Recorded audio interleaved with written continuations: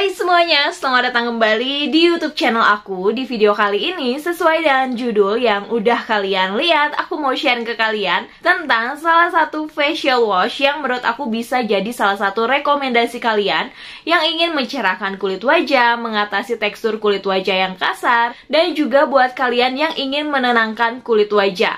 Karena facial wash yang bakal aku bahas kali ini dia memiliki 3 key ingredients yang dapat mengatasi kulit wajah kalian yang kusam dan juga memiliki tekstur kulit wajah yang kasar. Ini dia guys produknya. Jadi aku udah selama 2 mingguan ini tuh pakai produk dari The Originate yang facial cleansernya ini. Yang pertama di sini aku mau ngebahas dulu untuk packagingnya ya guys. Untuk packagingnya ini standar kayak facial wash pada umumnya. Dia ini tuh berukuran 70 gram dengan didominasi warna putih dan juga warna hijau. Di bagian bagian depannya kalian bisa lihat untuk key ingredientsnya. Jadi dia ada ceramide, niacinamide, dan juga centella asiatica. Di bagian belakangnya juga ini cukup informatif banget karena dia itu ada fungsi, cara pakai, peringatan, dan juga ada nomor BPOM, period after opening, dan juga ada logo ISO dan GMPC. Untuk teksturnya sendiri, produk ini tuh memiliki tekstur seperti gel dan juga berwarna bening. Untuk aromanya dia nggak menyengat sama sekali, malah menurut aku aromanya tuh nggak terlalu kecium. Jadi nyaman-nyaman aja ketika diaplikasikan di wajah. Fungsi dari Sisamide Facial Cleanser ini merupakan pembersih wajah yang ringan dapat membantu membersihkan minyak, bekas make up, dan juga sisa debu pada permukaan wajah. Dengan kandungan ceramide dan juga niacinamide untuk membantu menjaga skin barrier dan mencerahkan wajah. Diformulasikan dengan ekstra centella asiatica untuk membantu menenangkan wajah dan juga sebagai anti-inflamasi. Kalau aku perhatikan lagi, dia juga ada kandungan parabennya. Jadi kalau misalnya kalian memiliki kulit wajah yang sensitif dan pengen coba, menurut aku sih cukup hati-hati aja ya guys.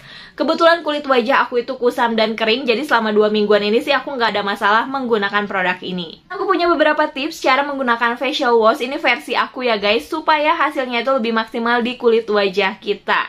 Nah biasanya kalau kita menggunakan full make up, aku bakal melakukan double cleansing. Jadi yang pertama tuh kita pakai makeup remover dulu, abis itu kita menggunakan facial wash.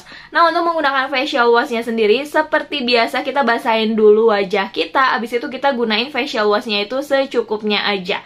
Jangan terlalu banyak ya guys, karena dia itu kan berbentuk sabun, jadi kalau misalnya kita menggunakannya terlalu banyak, dikhawatirkan bikin kulit wajah kita itu jadi semakin kering. Lanjut lagi yang ketiga, setelah kalian menggunakan secukupnya, abis itu kalian basahi lalu ratakan di area wajah.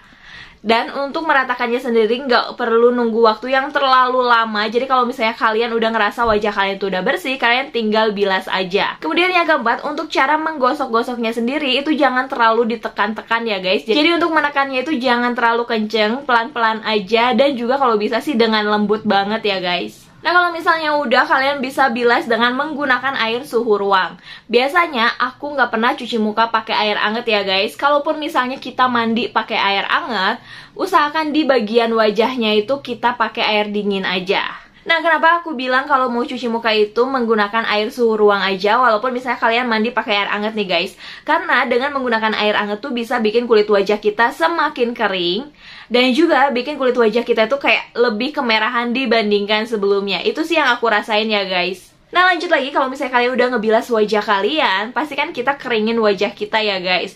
Nah pada saat mengeringkannya itu jangan digosok-gosok kayak gini Kayak kita lagi nge-scrub wajah kita. Tapi cukup di tap-tap aja menggunakan handuk yang lembut karena kalau misalnya kita gosok-gosok sampai kenceng gitu, itu bisa merusak skin barrier kita. Nah guys, itu tadi tips dari aku cara menggunakan facial wash yang baik dan benar. Itu versi aku ya guys. Kalau misalnya kalian punya versi yang lain, kalian boleh komentar di bawah.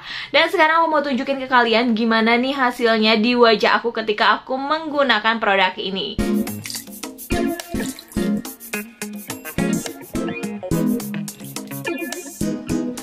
Nah guys, untuk busanya sendiri dia itu nggak terlalu melimpah tapi nggak terlalu sedikit banget. Jadi menurut aku sih cocok banget ya di kulit wajah aku yang kering. Guys, ketika diaplikasikan di wajah, walaupun kita gosok di area bawah mata sini, tapi dia tuh nggak perih sama sekali. Dan juga busanya tuh bener-bener lembut banget ketika diaplikasikan di wajah. Udah gitu dia tidak memiliki aroma yang terlalu menyengat, jadi menurut aku sih nyaman-nyaman aja ya ketika diaplikasikan. Nah guys, ini yang udah aku bilas dan juga udah keringin. Jadi menurut kalian gimana nih hasilnya? Tentunya dengan menggunakan facial wash itu hasilnya nggak bakalan instan ya guys. Jadi kalian perlu yang namanya moisturizer, perlu juga yang namanya sunscreen. Tapi menurut aku setelah dua mingguan aku menggunakan produk ini, hasilnya tuh bener-bener bagus banget di kulit wajah aku. Yang asalnya kulit wajah aku keradakan dan kusam kayak gini, menurut aku sih bikin kulit wajah aku tuh jadi cerah dan juga lebih halus.